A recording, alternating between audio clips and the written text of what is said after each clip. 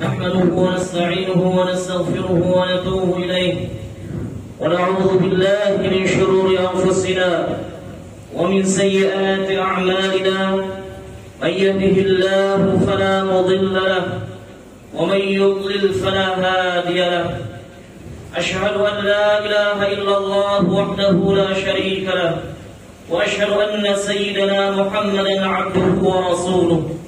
اللهم صل وسلم وبارك على سيدنا محمد وعلى آله وصحبه ومن تبعهم بإحسان إلى يوم الدين أما بعد تعالى يا أيها الذين آمنوا اتقوا الله حق تقاته ولا تموتن إلا وأنتم مسلمون معاشر المسلمين جماعة صلاة جمعة Allah Subhanahu wa taala. Pada hari Jumat yang mulia ini, pada di atas mimbar yang mulia ini pula, khatib tidak pernah bosan-bosannya untuk senantiasa mengingatkan bagi diri khatib pribadi dan juga untuk para jamaah sekalian agar senantiasa terus istiqamah berada di atas agama Islam yang benar. Agar senantiasa terus memperbaharui dan juga meningkatkan kualitas keimanan dan juga ketakwaan kita kepada Allah Subhanahu wa taala. Di tengah banyaknya perangkat-perangkat ataupun juga sarana ataupun fasilitas yang saat ini semakin banyak di mana fasilitas-fasilitas tersebut bukannya semakin membuat kita mendekatkan diri kita kepada Allah Subhanahu wa taala namun ternyata kebanyakan kita lalai dari beribadah kepada Allah Subhanahu wa taala maka untuk inilah kita harus senantiasa benar-benar memperkuat benteng keimanan dan ketakwaan kita kepada Allah Subhanahu wa taala. Masyaallah muslimin rahimakumullah. Dalam beberapa ayat Al-Qur'an, Allah Subhanahu wa taala sering kali mengawali firman-Nya dengan kalimat-kalimat sumpah. Di antaranya adalah bersumpah di atas waktu wal 'asr demi masa, wal fajr demi waktu fajar, wal lail wan nahar dan lain sebagainya.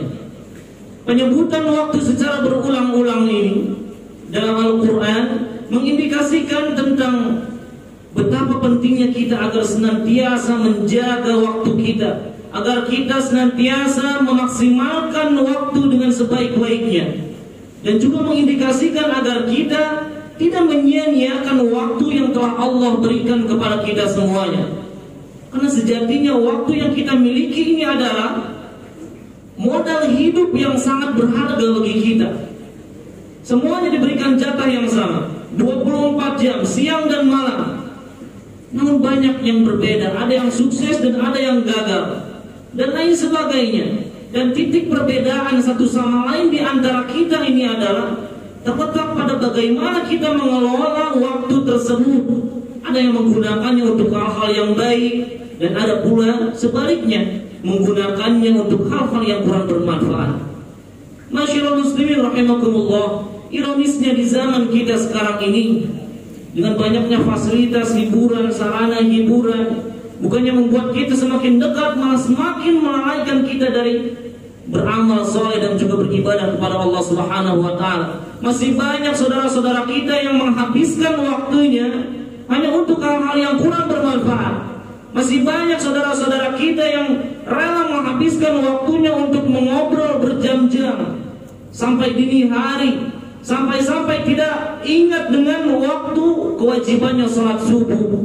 Banyak yang dikerjakan di waktu syuruk bahkan di waktu duha. Alhamdulillah. Maka dari itu Rasulullah Wasallam mengingatkan kita tentang pentingnya kita memanfaatkan waktu. Min husni islamil mar'i tarkuhu mana yakni. Di antara baiknya kualitas keislaman seseorang itu bisa kita lihat dari bagaimana dia meninggalkan sesuatu hal yang tidak bermanfaat baginya. Meninggalkan sesuatu yang tidak penting baginya dan memprioritaskan hal-hal yang perlu diprioritaskan. Masyarakat muslimin rahimakumullah, ingatlah bahwa waktu yang sudah berlalu tidak akan pernah kita bisa ulang lagi dan kita semua tahu itu. Segala macam amal perbuatan yang kita lakukan, kita yakini bahwasanya para malaikat sudah mencatat kita, mencatat amal kita, merekam kita dengan sebaik-baiknya, dengan serapih-rapihnya. Untuk apa? Untuk pertanggungjawaban kita di akhirat nanti. Maka dari itu jemaah sekalian, jangan sampai ada niat ataupun tujuan yang tidak mengarahkan kita untuk meraih ridha Allah Subhanahu wa taala. Luruskan selalu niat kita karena Allah Subhanahu wa taala. Kita berniat bekerja karena Allah. Kita berniat untuk berumah tangga pun harus didasari karena Allah Subhanahu wa taala. Berniat untuk bersahabat, bergaul dengan siapa pun seharusnya tolak ukurnya adalah apakah Allah ridho dengan saya atau tidak. Jika ini semua bisa kita lakukan, maka insya Allah segala macam curahan rahmat dari Allah Subhanahu wa taala akan senantiasa kita dapatkan baik itu di dunia maupun di akhirat. Kita akan dijauhkan dari sisa api neraka dan kita pun akan didekatkan dengan surga. Bahkan dimasukkan ke dalam orang-orang soleh yang masuk dalam surganya Allah Subhanahu wa taala. Masyaallah muslimin rahimakumullah. Jangan sampai waktu yang kita miliki ini berlalu sia-sia begitu saja. Sehingga pada akhirnya kita merasakan penyesalan di akhirat Penyesalan selama-lamanya Penyesalan di dunia saja kita bisa merasakannya Dalam urusan-urusan dunia mungkin kita sering mengalami kegagalan Sering mengalami kesedihan Namun di dunia kita masih, masih bisa memperbaikinya jemaah sekalian Tapi di akhirat nanti Ketika kita sudah meninggalkan dunia ini Mustahil kita untuk bisa memperbaikinya kembali ke dunia. Mustahil sedetik pun kita tidak akan pernah bisa diberikan izin oleh Allah Subhanahu wa taala. Yang ada hanyalah kesedihan yang berkepanjangan. Yang ada hanyalah murka dan juga siksa dari Allah Subhanahu wa taala. Hal ini dijelaskan firman Allah Subhanahu wa taala dalam surah As-Sajdah ayat 12. Walau tara idil mujrimun nakisu ru'usihim 'inda rabbihim. Rabbana absarna wa sami'na Farji'na na'mal salihah Inna muqinun Betapa ngerinya kalau seandainya kita melihat orang-orang yang mujrim Orang mujrim itu orang-orang yang berbuat dosa Banyak berbuat dosa Dan tidak sempat untuk bertobat kepada Allah selama hidupnya Mereka bergelimangan dosa dan dosa Pada di akhirat nanti nakisru usihim inda rabbihim Mereka akan menundukkan kepala mereka dengan penuh rasa penyesalan dengan penuh rasa malu karena atas dosa-dosanya. Kemudian mereka mengakui Rabbana absarna wa sami'na. Wahai Allah, kami sekarang sudah melihat, kami sudah kami sudah mendengar, kami, kami melihat teman-teman kami sudah memberikan contoh yang baik kepada kami. Namun kami tidak mengikuti mereka. Kami sudah mendengar nasihat-nasihat dari teman-teman pekerjaan kami, dari teman-teman di masyarakat kami. Namun kami tidak peduli dengan omongan mereka. Kami mendustakan mereka, bahkan kami membenci mereka.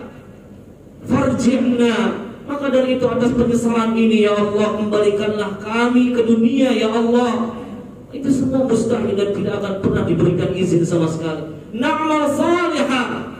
Mereka diberikan izin ke dunia bukan untuk memperkaya dirinya, bukan untuk membawaskan hawa nafsunya lagi.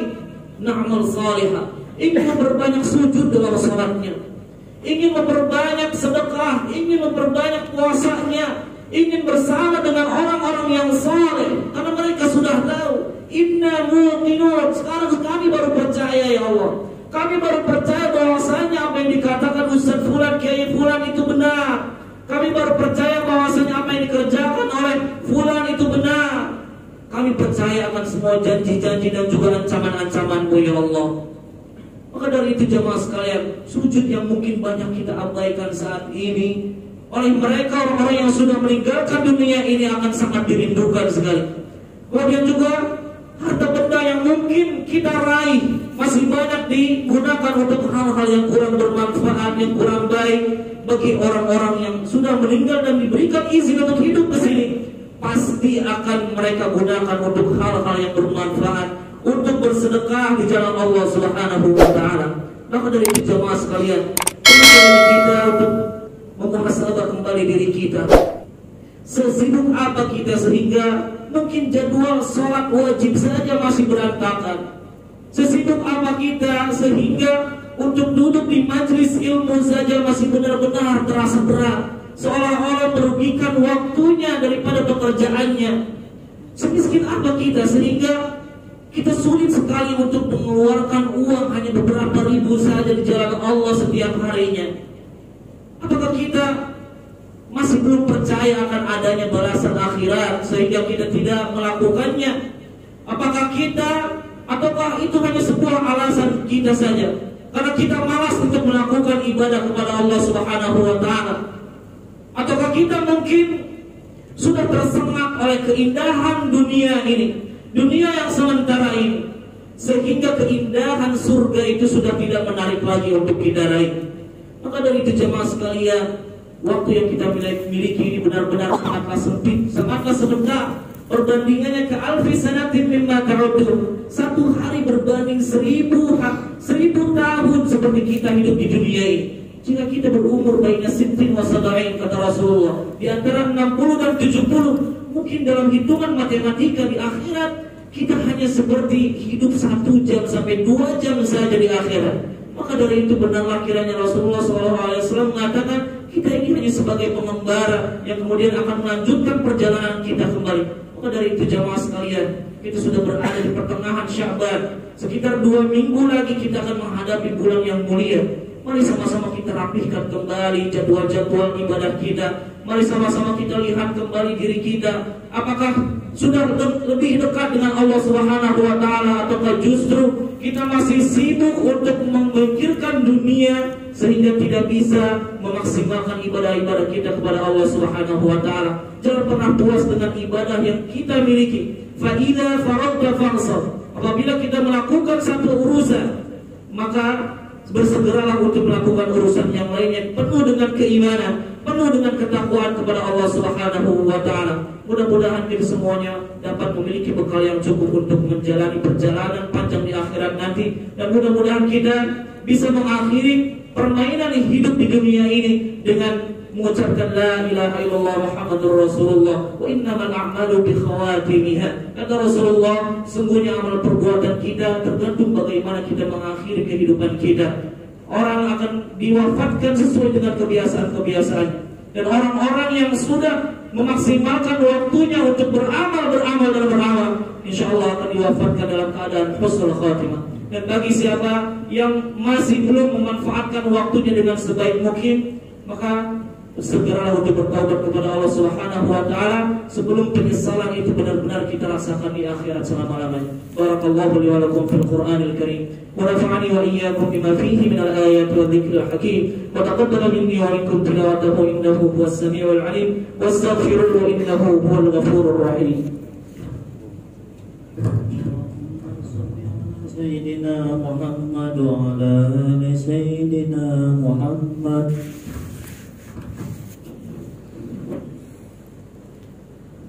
الحمد لله على إحسانه والشكر له على توفيقه وامتنانه.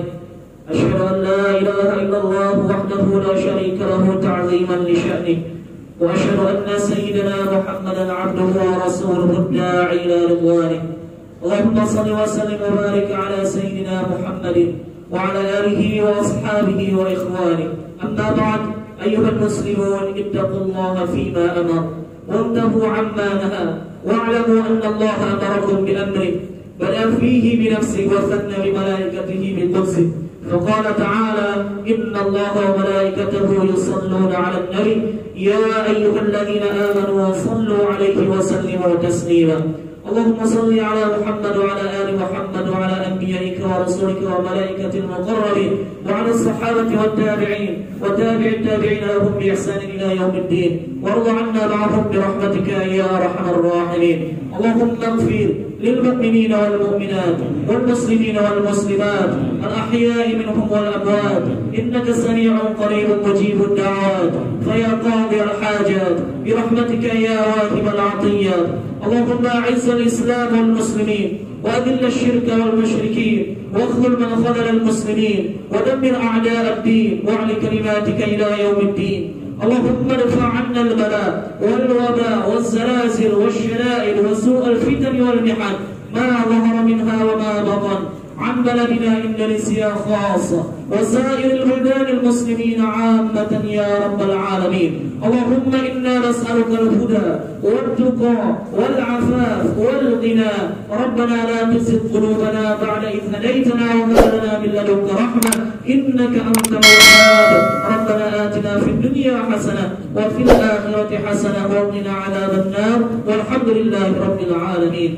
عباد الله إن الله يأمر بالعدل والإحسان وإيتاء ذي القربى وينهى عن الفحشاء والمنكر والبغي يعظكم لعلكم تذكرون فاذكروا الله العظيم يذكركم واشكروه على نعمه يزدكم ولذكر الله أكبر من الصلاة